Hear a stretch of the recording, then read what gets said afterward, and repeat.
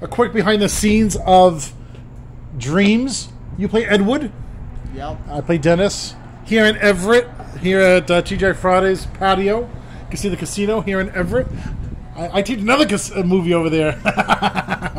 so how's it feel to play Edward? A short, a short, short like you, and sweet scene.